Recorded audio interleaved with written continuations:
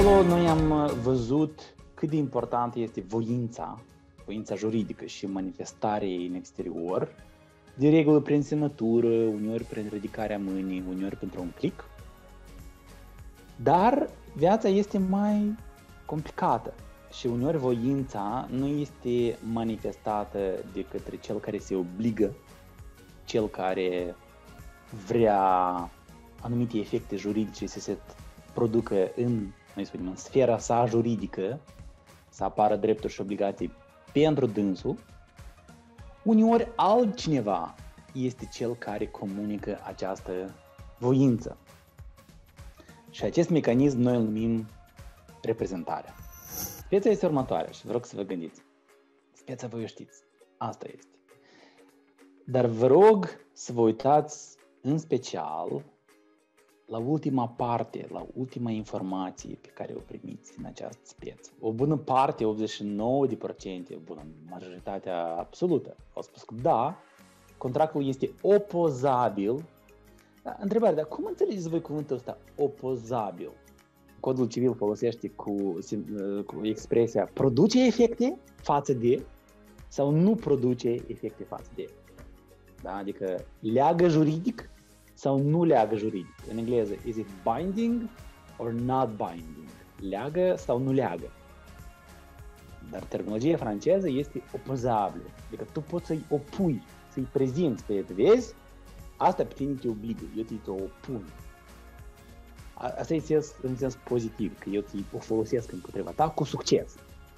Și când vă duceți la notari și vedeți acolo, în special că notarii fac procuri ei au cu niște formule clasice de exprimare, care nu sunt obligatorii, dar ele, mă rog, le folosesc și ei acolo spun um, eu îmi puternicesc pe cutărică să semnez de numele meu, semnătura lui fiind opozabilă mie. Așa scriu notarii. Nu e obligatoriu de scris asta. Împuternicire este împuternicire. Dar ei scriu așa, că așa e tradiția, știu, românească, franceză, da, de a spune că semnătura lui este opozabilă mie. Adică ce va semnat el, voi, veți putea să prezentați mie ca ceva obligatoriu pentru mine, că mă leagă pe mine. Noi încă nu o să răspundem la speța asta. Speța a avut ca scop să vă problematizeze. Noi e să parcurgem tema uh, împuternicirile, bine, reprezentarea, ce partea care astăzi o avem, și pe urmă să revenim la speță, să vedem dacă se schimbă răspunsul vostru sau se fortifică răspunsul vostru. Vă aduceți aminte structura manifestării de voință, încheierea actului juridic și în special cel mai important și practic act juridic, contractul. Da, avem două manifestări de voință, ceea ce este nou ceea ce nu ne adaugă, complică în viața noastră, este intervenția unui terț, a lui re. De ce este re? Fiindcă el este reprezentant. Adică manifestarea de voință nu o face autorul actului. De exemplu, vânzătorul. În speța noastră era problema cu cumpărătorul. Ci o face altcineva. Noi îl numim un terț. De ce este un terț? Păi fiindcă el juridic nu este parte la contract. Ce înseamnă nu este parte la contract? Contractul pe dânsul nu îl obligă la nimic. El pur și simplu uh, încheie acest contract din numele unei alte persoane. Asta este un mecanism original. El nu apare natural. El este o ficțiune juridică. Romanii, în general, nu, la bun început, nu prea prieteneau cu mecanismul reprezentării. Persoanele trebuie să încheie de nume propriu tot ce ele vor să încheie și nu ai ce te ocupi de reprezentare. Mecanismul ăsta al reprezentării este definit de articolul 362 din Codul Civil. El este, avem un capitol întreg în Codul Civil care se numește reprezentarea și acolo găsim corpul de reguli clasice și un lucru extrem de important este că regulile reprezentării din codul civil nu se aplică numai în dreptul civil. Aici vine dreptul civil cu rolul său de drept comun. Ce înseamnă drept comun? El are instituții atât de puternice care se folosesc nu numai la, în domeniile civile, în raporturile civile, nu. Că tu ai reprezentant și într-un proces penal. Avocatul reprezintă o parte și în procesul penal. Când te prezinți la ofițerul de urmărire penală sau în fața judecătorului, tot este instituția reprezentării. Avocatul depune apeluri, recursuri în instanță, este drept procesual civil. Sau um, cineva depune din numele meu o cerere către o autoritate publică. O face ca reprezentant din numele meu. Și pe măsură ce noi cre- creștem, creștem, noi vedem că în, în, în, peste tot unde avem persoane juridice, noi avem reprezentanți. Iată chiar și în speța noastră. Noi am vorbit în speță despre Andrei, are un SRL. Păi, cine este Andrei? Andrei este administrator al SRL-ului. Dar el încheie acte nu din nume propriu ca persoana fizică Andrei. Persoana fizică Andrei nu are nicio sticlă de vin. Persoana fizică Andrei nu are conturi ca să primească plăți pentru livrare de sticle de vin. Vă aduceți aminte cât de problematic este desfășurarea activității de întreprinzător de către persoanele fizice. Andrei este doar un reprezentant în calitatea sa de administrator al acelui SRL. Deci el când încheie contracte, el nu le încheie din nume propriu, ci din numele SRL-ului pentru care el activează ca administrator. Și vedeți că, de fapt, la ce ajungem noi? Că toată construcția pentru o afecțiune juridică, toată construcția persoanei juridice, pe care voi deja ați studiat-o, nu funcționează fără instituția reprezentării. Tu n-ai altfel cum să explici cum voința unui om reprezintă totodată voința unui SRL. Tu trebuie să creezi acest construct juridic numit reprezentare și atunci lucrurile parcă se așează. Și cei doi actori implicați aici, asta noi numim, le numim relație internă în reprezentare, iar aceasta este relația externă cu, cu terțul cu care se încheie acest act uh, juridic. Deci relația internă este dintre reprezentat, da, le, grupa francofonă le reprezenté, în uh, engleză nu este uneori de represented, dar asta este foarte rar, de regulă se numește principal, the principal, principalul cel care dă comenzi, dă instrucțiuni, the principal. Și cel care acționează din numele reprezentatului este reprezentantul, da, în franceză lui reprezentant, este destul de simplu, cu terminologie tot, tot franceză. Există și în engleză, da, representative, uh, dar mai frecvent, mai ales pentru mandat, pentru reprezentare contractuală, nu este representative, de ce este agent. Iată de ce acea, acele norme juridice din dreptul internațional care se referă la reprezentare nu este the law of representation, ci este the law of agency. Legea, dreptul agenției, dreptul în care cineva acționează din numele tău. Iată, apropo, de unde provine uh, denumirea de agenție de voiaj, de călătorie, agenție de modeling, agenție de publicitate. Ele vin în Occident, dar de ce ele acolo se numesc agenție? Ele acționează în numele clientului lor pentru a plasa comenzi. Și un lucru important aici, și juriștii, pentru nejuriști este scuzabil, pentru juriști nu este scuzabil, este reprezentantul nu are un drept de a încheia contractele, ci noi numim asta o împuternicire. Și asta e diferent. Iată, reprezentatul are drept. El, încheind contractul, el dobândește drepturi subiective. Dar aptitudinea de a încheia de numele altuia nu este în sine un drept. El este puțin altceva. El nu are în sine o valoare economică. De exemplu, pot să vă pun întrebarea. Cât costă în bani dreptul meu de a reprezenta copilul meu? Cât costă în bani dreptul lui Andrei ca administrator, de a reprezenta SRL-ul său. Deci este fără valoare. Nu este un drept subiectiv, nu se confundă cu dreptul de proprietate sau cu dreptul de a primi o sumă concretă de bani. Este ceea ce noi numim drepturi potestative, drepturi care se exercită discreționar, la discreție. Eu pot să închei contract, eu pot să leg să nu închei contract din numele reprezentatului meu. Iată de ce trebuie să fiți atenți, noi nu folosim aici că reprezentantul are drepturi de a, de a reprezenta reprezentatul, ci el are împuternicirea. Uneori este doar împuternicire, este suficient să spuneți împuternicire, dar uneori chiar și codul civil spune împuternicire de reprezentare. Mai adaug. Da. Pentru grupa francofonă, le pouvoir d'agir, da? puterea de a acționa, iar în engleză este powers, dar, este, dar mai frecvent se folosește authority to act. Iată de ce mulți când traduc din engleză spun autoritate de a acționa. De exemplu, eu sunt reprezentant autorizat.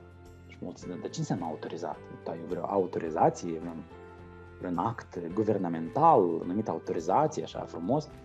Nu, păi eu am dreptul, el spune. Ah, ok. Deci asta este o calchire din engleză. Authority to act este împuternicirea de a reprezenta pe cineva. Și în, ca să concluzionăm ceea ce noi până acum discutăm, reprezentarea este un procedeu de tehnică, nu știu de ce am scris eu, etnică, tehnică juridică, prin care un act juridic este încheiat de către reprezentant, dar el nu produce efecte, el nu obligă reprezentantul, el obligă reprezentatul. Aici este elementul de ficțiune juridică. Deci, efectele se strămută. Și explicația juridică pentru juriști este că, de fapt, observați, această manifestare de voință nu are culoarea reprezentantului. Ea are culoarea roz a reprezentatului. Ea este, printr-o ficțiune, totuși, voința reprezentatului. Dar de ce este voința reprezentatului? Fiindcă el a acordat în puterniciri. A spus, da, du-te și semnează din numele meu sau încheie din numele meu. Același lucru îl vedeți și în articolul 362 în letul 2, care ne prevede regula fundamentală în materie de reprezentare. Actul juridic încheie de persoană în numele altei persoane, dar, și aici vine prima și cea mai importantă condiție, în limitele împuternicirilor, deci tu trebuie să ai, trebuie să te încadrezi în acest coridor juridic numit împuternicire. Dacă tu respecti acest coridor juridic, limitele împuternicirilor, tu ajungi la această ficțiune juridică. Că actul de naștere modifică sau stinge drepturi și obligații civile ale reprezentatului, ale reprezentatului, nu ale reprezentantului. Pentru reprezentant este un act neutru. O altă observație importantă este că reprezentarea nu se limitează doar la acte juridice civile. Da, ea a fost gândită pentru a fi folosită în, la, la încheierea actelor juridice și vedeți codul civil tot în acest articol 362 o menționează la, um, la acte juridice. Dar viața este mult mai complexă și toate practici sunt mult mai multe. De exemplu, ați văzut, sunt foarte multe firme care vor să, să vă ajute să obțineți cetățenie română sau cetățenie altui stat sau să obțineți o viză. Um, ei uh, nu neapărat că vor să încheie acte juridice în numele vostru. Ei poate spun că dă nouă împuterniciri ca noi să ne ducem doar să, să depunem niște acte sau să primim niște acte din numele tău, de exemplu. Chiar și doar pentru primirea unor acte. O, uitam o programare acolo să iau un act, dar nu reușesc. Hai, tu te duci tu în locul meu să le iai. Și ridicarea actelor în sine nu este încheierea unui act juridic, este mai degrabă finalizarea unui act juridic sau unei proceduri chiar administrative, fiindcă emiterea unui pașaport, de exemplu, un act de identitate, este o procedură administrativă. Și uh, eu îți dau ție puternicire nu ca să declanșezi procedura administrativă, trebuie să duci la final, numai să, să o primești.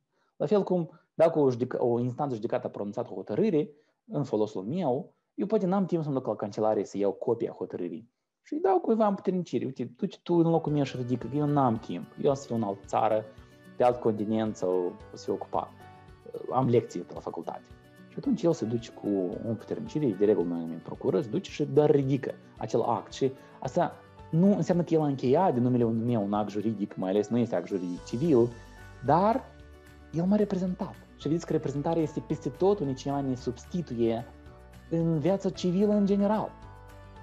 Iată de ce această definiție a reprezentării care o aveți aici, încheierea de act juridic, deja nu este completă. Ea trebuie extinsă la orice acțiuni, inac- inacțiuni, nu știu, poate, dar orice acțiuni, fapte care, vă aduceți aminte acea clasificare a acțiunilor, da? Acte juridice, acțiuni similare actelor juridice, cum ar fi notificările și actele reale. Primirea unei plăți este act real. Vă aduceți aminte trei clasificări. Și în toate aceste domenii poate să intervină reprezentare. Și asta o vedem, de exemplu, mai concret, un articol care, vă mai spuneam, a fost extrem de util în pandemie, articolul 22 alineatul 7, dedicat notificărilor, cum oamenii comunică în, în scopuri mai oficiale, mai formale în raporturile civile și nu numai. Și vezi că articolul 22 alineatul 7 spune că eu pot să te notific prin despre ceva, nu numai transmițând ție informația asta, ci și transmițând reprezentantului tău. Deci dacă reprezentantul a primit-o, să consider că și tu ai primit acea informație. De exemplu, dacă eu îi dau uh, acea informație avocatului tău, se consideră că și tu deja deodată ai primit acea informație. Și asta e suficient. Alt articol este articolul 867 alineatul 1, care spune că atunci când eu fac o plată sau altă executare, predau un bun, eu pot să ce dau ție personal sau să o transmit persoanei împuternicite. Iar persoana împuternicită poate înseamnă, de exemplu, să presupunem că soții au divorțat și tatăl este obligat să plătească pensie alimentară. Și tatăl spune, ok, copilul are un an, cui am să-i plătesc eu în luna asta pensie alimentară? Și răspunsul este, îi plătește reprezentantul legal, mama, banii ajungând la reprezentant legal, se consideră pentru o ficțiune juridică că au ajuns la copil. Și atunci tu ți-ai executat corect obligația de plată. Și vedeți că aici noi nu vorbim despre încheierea de acte juridice, noi vorbim aici despre executarea unei obligații. Și apropo, este obligație extracontractuală. Este obligație de dreptul familiei. Aici ea se plătește indiferent de orice contract. Doar în baza faptului juridic al rudeniei apare obligația de a plăti pensia alimentară, conform codului familiei. Deci nu are nimic comun cu acte juridice în general. Dar mai important, trecând peste acțiuni juridice și acțiuni ale oamenilor licite, chiar și la acțiuni ilicite. Este articolul 934 netul 5. Îmi spune că dacă reprezentantul meu are o culpă, face careva greșeală la executarea unui contract, executarea unei obligații, acea culpă devine culpa mea, a reprezentatului. Mai mult decât atât, mai important este articolul 2005 alineatul 1, care spune că dacă un administrator sau altă persoană subordonată mie face un delict, delictul este considerat meu. Regula este, asta o vedeți în articolul 362, că orice act juridic poate fi încheiat prin uh, reprezentare, dar sunt excepții. Sunt actele juridice personale. Ele nu pot fi încheiate prin reprezentare. Și care sunt actele juridice personale? Asta uh, rezultă din textele de lege. Codul familiei spune 1. Nu poți închei căsătoria prin reprezentare. Este un act strict personal. Nu poate cineva, părintele, te căsătorească pe tine fără acordul tău. Bine, fără prezența ta. Deci părintele trebuie complet să fie izolat de decizia asta. Da? Dar divorțul poate fi cerut prin reprezentant, prin avocat. Nicio problemă. Al doilea, testamentul.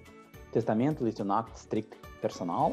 Cartea a patra Codul Civil interzice încheierea unui testament prin reprezentare. Un act strict personal trebuie scris de mâna testatorului, dacă este holograf, și acum, în pandemie, eu deja am văzut persoane decedate care în pandemie au uh, scris testamente holografe. Asta este perfect legal. Poți să accepti moștenirea prin reprezentant. Deja când ești moștenitor. Poți să renunți la o moștenire prin reprezentant poți cota sa succesorală, dreptul tău de moștenire, să îl vinzi cuiva sau să-l donezi cuiva, tot prin reprezentant. Asta tot se poate. Deci la moștenire orice se poate prin reprezentant, cu excepția întocmirii testamentului, adică a ultimii voințe. Acolo trebuie strict personal, așa este regula. Și un al treilea caz de foarte important este încheierea contractului de muncă. Codul muncii ne spune că contractul de muncă se încheie strict personal decât salariat Probabil din cauza considerentelor de interzicerea muncii forțate, nu se poate. Nu se poate. Și atunci, dacă e încheiat prin reprezentant, el pur și simplu nu produce efecte juridice acesta. Deci astea sunt acte personale. Mai sunt parte foarte rar, dar în rest, orice alte acte și de drept public, de drept privat pot fi încheiate prin reprezentant. Mergând mai departe, um, un lucru extrem de important la tema uh, reprezentare este care este sursa împuternicirilor. Clasic sunt trei surse. Prima, cea de la care noi am început în dreptul privat roman, sunt împuternicirile contractuale. Contractuale înseamnă că reprezentatul a acordat împuterniciri reprezentantului. Ei așa s-au înțeles. Sau cel puțin asta vrea reprezentatul. Nu, noi o să discutăm la tema procura. Nu este obligatoriu ca reprezentantul să cunoască deodată. El ar putea să nu cunoască. Da, cineva ar, putea, ar fi putut ieri să vă dea vouă o procură undeva în străinătate. Dar voi nici nu știți despre asta. Și când o să primiți procura, voi să luați o decizie. Așa, eu vreau să exercit aceste împuterniciri sau eu nu vreau să le exercit. Dacă vreau să le exercit, eu mă duc și fac ce aici scrie în procur. Și atunci apar, apare contractul de mandat. Dacă eu nu vreau, eu rup. Și atunci eu nu exercit împuternicirile mele. Da, și atunci nu, nu se încheie niciodată. Și relația asta, când reprezentantul acceptă împuternicirile acordate consensual de către reprezentat, se numește contract de mandat. El poate fi demonstrat fie prin chiar un contract scris de mandat, dar cel mai adesea contractul de mandat este demonstrat printr-o procură. Procura este ceea ce se prezintă terțului față de care noi încheiem actul, dar între reprezentat și reprezentat noi avem un contract de mandat. Duci, te rog și fă pentru mine. Îmi spune Ruda, care are în vedere că o să o fac pe degeaba. Mă duc, fac, iau un act, depun. Asta este mandat gratuit și el se prezumă gratuit.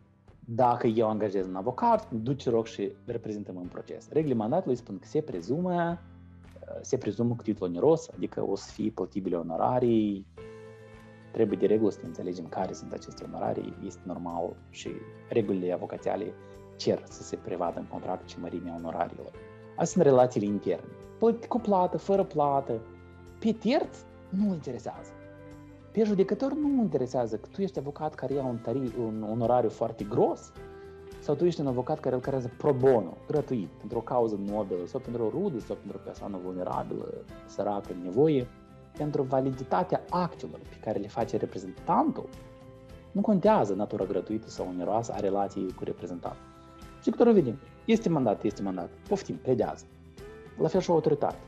Este mandatul avocatul? Este. Poftim, contestă actul. Nu interesează relația ta internă cu clientul. A doua sursă de împuterniciri sunt împuternicirile legale și atunci când se acordă împuterniciri legale, noi suntem în prezența reprezentării legale. Și aici vine ceea ce noi am spus, reprezentantul legal. Exemplu clasic este părintele din numele copilului acționează, este articolul 28 alineatul 1 Cod Civil. Tutorele din numele adultului ocrotit tot acționează. Iată, mama din numele copilului adult bolnav mental, dacă mama a fost desemnat tutore, articolul 27 alineatul 2 spune că mama reprezintă aici copilul său adult, dar nu copilul minor. În final, a treia categorie este reprezentarea numită uneori organică, unii numesc reprezentare statutară, uh, germanii numesc organică, puterniciri organice. Este cazul administratorului persoanei juridice, în cazul nostru ar fi Andrei, care acționează din numele unei persoane juridice. Este SRL-ul lui Andrei, SRL V, care vinde sticlă de vin. Și aici voi a studiat, a studiat tema persoana juridică la, la uh, întrebarea capacitate de exercițiu, ați văzut articolul 177 la 1, care spune că persoana juridică își exercită drepturile prin administrator. Și aici vine împuternicirea organică. Dacă cineva este desemnat de administrator și sunt îndeplinite formalitățile de publicitate, adică el este înregistrat în registrul de stat ca administrator, el are împuterniciri organice. Și de la împuterniciri organice, noi includem și toți cei care ocupă o funcție publică care acordă împuterniciri de reprezentare. Da? Este vorba și de președintele țării, de Parlamentului, primarul care acționează, prim-ministrul, miniștrii care acționează de numele ministerilor. Ei toți au împuterniciri organice. Ei au fost numiți, intră în această funcție. În acest moment, ei au împuterniciri de a acționa de numele entității. Atunci când cineva îți spune, dar de ce tu semnezi acest act? De ce tu închei actul din numele copilului? La fiecare etapă trebuie aduse dovada împuternicirilor, fiindcă terțul este suspect. Terțul spune, dar de unde eu știu că tu ai dreptul să ridici pașaportul pentru copilul, pentru copilul tău sau pentru fratele tău? E și ce dacă tu ești fratele tău? Dar poate tu vrei să-i faci un rău, dar nu un bine. Dar dacă eu ție acum îți dau pașaportul, primul o să vină fratele peste o zi și o să țipi, să fac scandal, să dau ne pașaportul meu. Dar de ce i-ați dat fratele meu, dar nu mie personal, că e pașaportul meu. Pe atunci noi trebuie să avem ceva să îi opunem. Ce îi opunem? Faptul că de numele tău deja a ridicat acel act un reprezentant. Și atunci eu, ca persoană față de care s-a prezentat cineva, care spune că el este reprezentant, eu trebuie să-mi asigur un mijloc de probă. Aici eu de regulă o să cer o procură, în instanță de judecată avocații prezintă mandat de avocat, care tot este semnat de către client, la împuterniciri legale, eu trebuie să arăt calitatea mea de părinte, certificatul de naștere, um, al copilului, este suficient, și buletinul de identitate al părintelui, care demonstrează identitatea părintelui, tutorile, hotărârea judecătorească a instanței de desemnare a tutelei și a tutorului, este, este dovada. La puternicile organice este unul din cele mai simple, este extrasul din registrul de stat al persoanei juridice, care, ați văzut la tema persoană juridică, arată cine este administratorul unei persoane juridice. Și nu este o condiție, apropo, nu este o condiție reprezentării ca să prezinți dovada puternicilor. Este important să le ai, nu să le prezinți. Așa, ok, emiteți procura în America, trimiteți-mi prin e-mail și eu să văd că eu am împuternicit. Și însă și e-mailul vostru mie mi acordă împuternicit. Eu mă duc și eu închei contract. Eu am împuternicit. Dar acea dovadă beton, procura perfectă, frumoasă, cu autentificat de notarul american și cu apostilă, noi mai discutăm despre apostile, o să vină abia peste o lună. Dar ea deja este datată. Și când noi să luăm contract semnat de mine și procura, omul avea împuternicire. Nu este o problemă. Mai mult decât atât, este și o altă variantă. Eu pot să închei un contract și pe urmă să primim procură, în, în care să fie element de ratificare. Spune, noi confirmăm tot ce a făcut Octavian Cazac din numele nostru în aceste tipuri de contracte sau în acel contract cu acea parte concretă. Și asta este perfect ok. Și terțul cu care eu închei contractul, poate spune, ok, eu acum n-am nevoie de împuternicile tare. Dar atunci când o să vrei ca eu pe tine să te plătesc, ca noi să începem executarea contractului, iată atunci te rog să vii la mine cu procura, eu să mă asigur că dacă nu eu îmi startez cu tu ești nimic, asta e foaia verde această înscrisă de tine. Tu trebuie să demonstrezi la un moment ulterior că acest înscris este chiar un contract care este opozabil celui din numele căruia tu ai acționat. Deci, instituția reprezentării este una foarte flexibilă și este important că, că și aceste împuterniciri pot veni nu numai antefactum, înaintea ce eu am acționat de numele reprezentatului, ci pot fi veni și după. Și asta se numește ratificare. Noi să vorbim despre dânsă. În privința împuternicirilor contractuale, este important să spunem că noi avem împuterniciri expresie, care clar, de regulă, într-un act scris, spune, prin prezenta, formal, să fie oficial, nu, nu neapărat de folosit cont prin prezenta, dar este așa juridic, da? Englezii spun legalese. Legalese e ca Chinese sau Japanese. Legalese este limba juridică. Legalese. Prin prezenta puternicim pe ABC să încheie din numele nostru următoarele acte. Depună cereri, să participe la proceduri, să primească cereri, să primească bani, să primească acte, să încheie contracte, să dispună de bunurile noastre. Asta este expres, asta este clar. Dar împuternicirile pot fi implicite, ne spune nou codul civil. Și anume, ele pot să rezulte din circunstanțe. Și de aici, vă rog să vă notați să vă notați. În primul 362, alineatul 1, care spune că împuternicirile rezultă din lege, din act juridic sau din împrejurările în care acționează persoana. Și mai era un articol aici interesant. Da, alineatul 3. 362 alineatul 3. Iată, asta este crearea unei aparențe. Se numește, uh, se numește reprezentantul aparent. Dacă actul juridic este încheiat în numele unei alte persoane, părții cu care a contractat reprezentantul nu îi se poate opune o lipsă a împuternicirilor dacă reprezentatul, primul reprezentatul, a creat astfel de împrejurări în virtutea cărora această parte, cealaltă parte la contract, presupunea cu bună credință existența unor asemenea împuterniciri. Deci uneori, în realitate, pot să nu existe împuterniciri, dar din comportamentul celelalte părți să se creeze o impresie. Iată, dacă pe site-ul universității figurează cine este rectorul, prorectorul, decanul, se creează o aparență. Și dacă eu, cu bună credință, nu am citit o altă informație cu cum s-a schimbat cineva, eu pot să mă bazez pe această informație. S-a creat o aparență.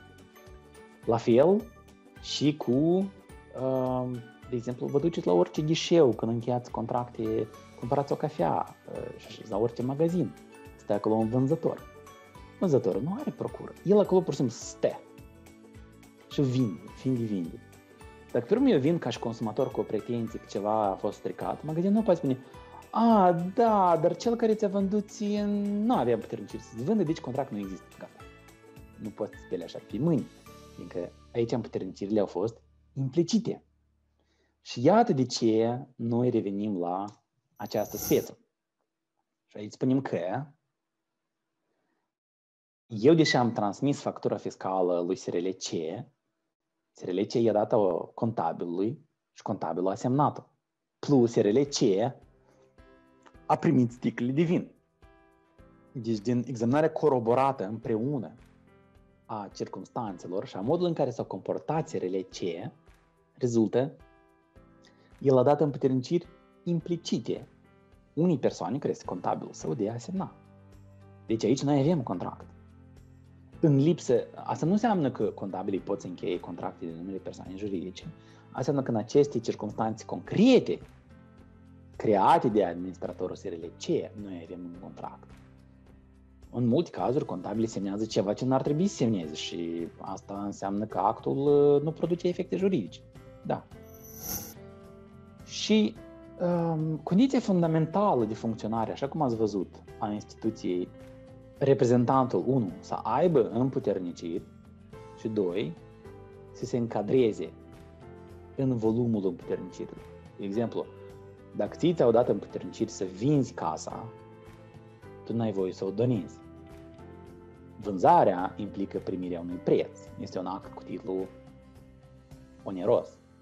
Donația însă este un act gratuit. Înseamnă că reprezentatul, proprietarul imobilului, nu o să primească nimic în, în locul casei. Deci dacă a spus vânzare, este vânzare. Dacă îi dau cuiva o procură, de exemplu, îi dau cuiva o procură, eu n-am să fiu în țară, dar dau în chirie un imobil și dau la procură să duc să primească chiria din numele meu. Scriu. Îmi trângesc pe fratele meu să duc să ridice chiria. Punct. El nu poate să folosească această procură pentru a vinde imobil sau pentru a lua un credit și a ipoteca imobilul. Asta se numește depășire a împuternicirilor. Și de regulă toți se uită foarte strict și circumspect, cu suspecție la limite împuternicirilor. De regulă toți caută cuvântul acela magic. De exemplu, dacă tu ai venit să ridici un pașaport, eu vreau un actul tău să văd, dar unde scrie să ridice pașaport? Dar oamenii, asta se numește procură specială, când tu dai împuterniciri strict pentru un lucru. Dar atunci când se dă pe procur pentru o perioadă mai largă, pentru o absență mai, mai pe, pe, pentru o absență mai de durată de la un anumit loc, de regulă se folosesc formule mai vagi, cum ar fi să depună să primească acte, documente. Și atunci autoritatea stă și se gândește. Dar puternicire de a primi documente se referă la pașaport sau nu? Și sunt simplu discuții interminabile între juriști. De aceea juristul care vrea să evite discuții interminabile trebuie să fie mai concret. Dar asta nu înseamnă că juridic așa și este sau așa e necesar. Juridic noi trebuie să interpretăm. Pașaportul este un act, un document, deci e ok. Are împuternicire. Această cerință iată, provine din articolul 370, dar chiar și din definiția, ați văzut din 362 ce înseamnă act juridic. Spune că el produce efect de reprezentat dacă se acționează în limitele împuternicirii. Deci acel coridor restrâns trebuie să fie respectat. Dacă tu întrebi pe altă ușă, nu produce efect, dar nume să respecti aceste împuterniciri. Și interesul cel mai mare îl are, reprezent, îl are terțul, cel cu care se încheie actul sau autoritatea față de care tu vii cu aceste împuterniciri. el are interesul să se asigure că el tratează cu cineva care este împuternicit. Dacă nu, pe urmă o să vină adevăratul titular, spune, dar voi ați tratat cu cineva care nu avea nicio împuternicire, el a căzut din pod. El nu are nimic din numele meu. Dați-mi încă o dată ce al meu. Ceea ce lui ați dat, mie nu mi este opozabil, nu produce efecte față de mine. Și atunci cineva o să trebuiască să plătească de două ori și o să fie o durere. Dacă lipsesc împuterniciri, deloc nu Cazul clasic când nu sunt deloc împuterniciri este o procură falsă. Sau cineva se prezintă ca administrator sau ca salariat, dar el de fapt nu este administrator sau salariat. În speță eu v-am spus că persoana care se înfătură fiscal este contabil. Dacă el nu era contabil, dacă era sora administratorului, nu avea nicio funcție. Ah, înseamnă că nu avea împuternicire. Depinde, iarăși depinde dacă administratorul a creat niște circunstanțe. Dacă administratorul a trimis un e-mail și a spus că o să vină contabila noastră să ridice factura. Asta, el a creat o, o, o împrejurare care arată că acea persoană care o să vină, cine ar fi ea, ea are împuterniciri de a gestiona factura, de a semna că a primit factura. Și soluția pe articolul 370 este că acel act juridic încheiat fără împuterniciri sau cu depășirea împuternicirilor, deci care nu se încadrează în acel coridor strâns, nu este nul, nu este un act ilegal, noi spunem că este un act incomplet, este un act necopt. Este exact ca mine care semnez azi un contract, fără ca clientul încă să-mi dea mie o procură. Clientul mi îmi spune prin e-mail, semnează. Și eu am încredere în, în client și semnez. Și îi spun părții, uite, eu am semnat, dar procură încă nu am, așteptăm. Și el spune, ok, așteptăm. Când vine procură, eu îi procură și ah, acum totul este clar. Acum a apărut acel coridor. El nu era când noi am semnat. Când eu ți-am cules voința ta, nu era acel coridor. Dar el pe urmă a apărut acolo. Fictiv. Ficțiune. A apărut. Și articolul 370 spune, nicio problemă. Până când, deci atâta timp cât nu se respectă limitele împuternicirilor, articolul 370 spune că ce înseamnă act juridic este ineficient? El nu produce efecte juridice față de reprezentat. Adică ceea ce noi am spus nu este opozabil. Tu nu poți mi-arăți mie acest contract, eu nu am dat consimțământul la el, nici personal, nici prin un reprezentant. Eu n-am dat cuiva puterniciri ca să închei din numele meu. Dar 360 alineatul 4 spune că eu pot ulterior să deschid acest coridor și să ratific actul juridic încheiat din numele meu. Și importanța articolului 360 alineatul 4 este o altă ficțiune. Nu știu, ficțiunea retroactivității. Adică se consideră că, deși eu, când am semnat contractul, nu aveam împuternicirit, fiindcă procura vine mai târziu, acea procură venită mai târziu are efect retroactiv din momentul încheierii contractului. Adică se consideră pentru ficțiune juridică că eu aveam împuternicire. Așa funcționează, dar fiți atenți, asta e numai în drept privat. Așa gândesc civiliștii și asta este regula 364.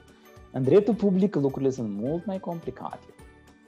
Mai ales sunt chestiuni tare dureroase în procesul civil, când un avocat pledează, pledează, pledează și când acolo judecătorul spune, mm, dar um, mi se pare că mandatul tău nu e bun ca tu să pledezi.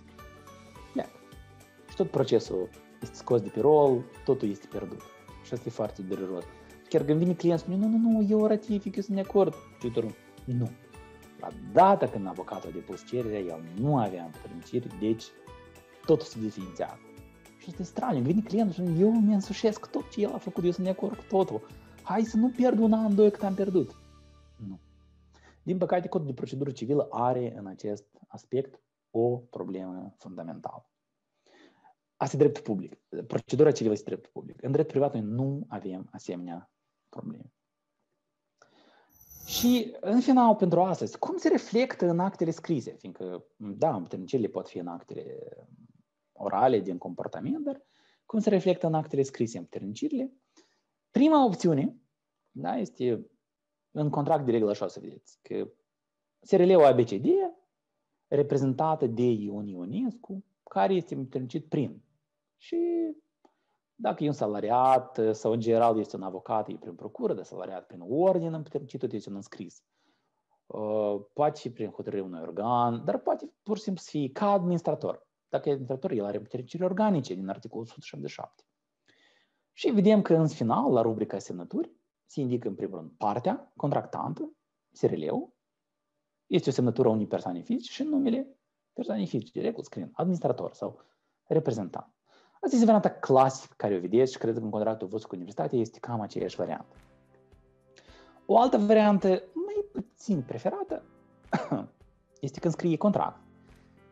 Ion Ionescu, care acționează de numele ABCD SRL, adică se arată că el e doar un reprezentant, se arată sursa împuternicerilor, semnătură Ion Ionescu. Și aici e puțin mai complicat, noi trebuie să facem un exercițiu, spunem că, de fapt, noi trebuie să răspundem la o întrebare, cu cine noi am încheiat contract? Cu Ion Ionescu sau cu ABCD SRL? Și interpretând sensul, noi vedem că tot ce este cu SRL-ul. Nu este cu Ion Ionescu. Asemenea, apropo, formulările vedeți mai rar la contracte, dar deseori le vedeți la tot felul de cereri. Eu cu tare cu tare, care sunt avocat, ai clientului cu tare, cer următoarele. Și el spune că eu cer, dar el spune care sunt avocat ai clientului. De fapt, el cere de numele clientului, o cere. Și, de fapt, opțiunea 1 este opțiunea preferabilă, e de cea mai mare claritate juridică, ea evită discuții nenecesare juridice. Și apropo, același lucru poate fi pentru părinții, în cazul reprezentării legale, când părinții încheie contracte, da, îi spune Andrei Ionescu, minor, reprezentată de Ion Ionescu, părinte. Și iarăși noi trebuie să specificăm că partea la contract este Andrei Ionescu, reprezentată de către un părinte. Deci în, mai, uneori se mai întâmplă că notarii scriu așa, Ion Ionescu care acționează în E aceeași problemă. Este mai criticabil să o faci. Trebuie să fii clar cine este, tu trebuie să dai răspuns clar la întrebare. Cine este parte contractantă? Cine primește drepturi și obligații? Un. A doua întrebare este, cine îl reprezintă pe dânsul? Asta este o altă întrebare. Ce caz avem noi aici? Ce caz avem noi aici? Corneliu este director la o vinărie, să spunem vinărie religioasă. Am inventat-o eu. Iar 10 asociații, de fapt, ei sunt acționari. Ticlele de vină ale societății pe acțiuni, care le produce această fabrică, această vinărie, variază la preț între 50-400, dacă e de colecție mai scump. În vederea organizării nunței fiicei sale, că chiar și în pandemie Corneliu trebuie să-și facă nunta la fică, el a încheiat un contract dintre societatea pe acțiuni, la care este director, și el semnează ca director, și tot el, în altă calitate, deci contract dintre una sa și o persoană fizică. Contract banal, prin care cumpără o partidă de 100 de sticle de vin, că chiar de că pandemie, el oricum are nevoie de vin pentru nuntă. Dar prețul este la 20 de lei sticla, că el crede că așa e corect, că el e director și el poate să facă asta. Unii asociați, acționari, au aflat și au început puțin așa să facă scandal. Și întrebarea față de voi este, este oare legal un asemenea contract? Minoritatea are dreptate în această speță. Cei care au, au spus că nu, nu este legal, au fost cei care au avut dreptate în această speță. Asta este o speță clasică de conflict de interese. Când tu ai o dublă calitate, un dublu rol și tu ai interes personal ca cumpărător dar în același timp tu iei o decizie de cealaltă parte, că tu ești membru a unor organe din altă parte. E o situație care se numește conflict de interes. Ea ridică multe dificultăți. De ce? Chiar și în dreptul public, mulți funcționari acționează într-un cadru sau într-o situație de conflict de interes. Voi ne vedeți la știri. Primarul și-a angajat fica, soția într-o careva funcție și așa mai departe. Spune că e conflict de interes că el ia decizii de angajare, dar el are un interes de cealaltă parte ca fica lui să fie angajat. Ceea ce se mai numește uneori în engleză self-serving. Bine, este conflict of interest, dar self-serving. Tu singur te autodeservești. Uh, pe lângă faptul că formal asta este o încălcare, și încălcarea o vedeți în articolul 372, care interzice ceea ce articolul 372 numește contrapartida. Actul cu sine însuși spune că reprezentantul, Corneliu, nu are dreptul să încheie acte juridice din numele reprezentatului, societatea, cu sine însuși, cu Corneliu ca persoană fizică. nici în nume propriu, nici în calitate de reprezentant al unui terț. Dacă, de exemplu, cumpărătorul ar fi fost fica, dar tot Corneliu ar fi reprezentat fica, el ar fi fost reprezentant din ambele părți. Asta e conflict de interes. Uh, și vedeți că conflict de interese pentru a, poate fi permis, dar ai nevoie de, de regulă de o permisiune expresă dată în actul de împuternicire, de exemplu într-o procură, în dreptul corporativ, cum ar fi în societățile pe acțiuni și în SRL, tu ai nevoie de aprobarea adunării generale la SRL sau a Consiliului la societatea pe acțiuni. Dacă și conf- sunt Consiliu, este conflict de interese, fiind Consiliul ar fi, ar fi ar, în Consiliu majoritatea ar, fi, ar putea să fie soția lui Corneliu, fica, ficiorul lui Corneliu, și atunci ei toți au un mare conflict de interese. Ei toți sunt interesați în acest act juridic atunci legea societăților pe acțiuni spune că voi în general nu aveți voie să aprobați, trebuie să vă duceți la adunare generală. Și la adunare generală, voi nu aveți voie să votați. Votează tot ceilalți care nu au un interes în această operațiune economică.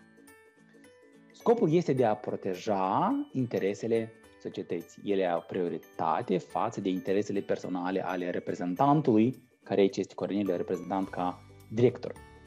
Și Speța asta ne arată de ce este rău conflictul de interese. Vedeți aici, în mod normal, sticlele trebuiau să fie vândute măcar cu 50 de lei.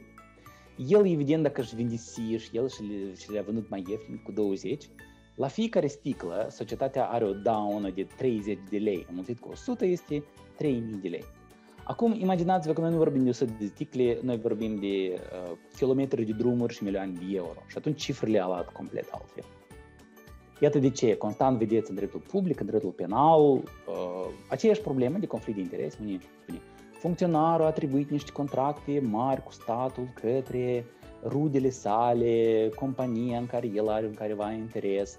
Asta este o, o corupție în dreptul public. Uh, corupție înseamnă, ce înseamnă corup, cuvântul corupție în, în forma sa cea mai, uh, cea mai elementară, corupere înseamnă o aberație, o modificare. Că în mod normal eu aș vinde la prețuri normale ca societatea să aibă profit și apoi profiturile să fie distribuite către toți acționarii societății, să fie plătit salariile și impozitele, dar aici are loc o aberație. Eu îmi schimb în mod neexplicabil poziția juridică și eu vând foarte ieftin.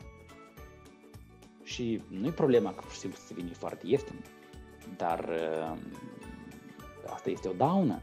Uh, este o daună. Și uh, aici ajungem la o, o regulă mai generală, care spune că relația reprezentant-reprezentat este o relație fiduciară. Fiduciary relationship. Relație fiduciară. Fiducia, din dreptul privat roman, înseamnă încredere. Încredere sau trust, fiducia. Și elementul relației fiduciare, uh, element cheie este că reprezentantul trebuie să pună interesul reprezentatului mai sus decât interesul său propriu. Și având în vedere natura umană, noi trebuie să cunoaștem natura umană. Omul tot timpul încearcă să-și facă sieși favorabil, evident în dauna altuia, cum este situația noastră cu Corneliu, Iată de ce vine articolul 372 spune, nu se poate.